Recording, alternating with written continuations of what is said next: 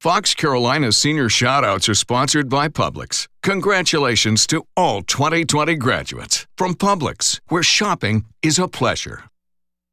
And a shout out to Jesse Blackwell. He is graduating from Landrum High School. His family says they are very proud of everything he has accomplished. And a shout out to Donovan Jones. He's graduating with honors from Boiling Springs High School. He will be heading to Wofford College in the fall.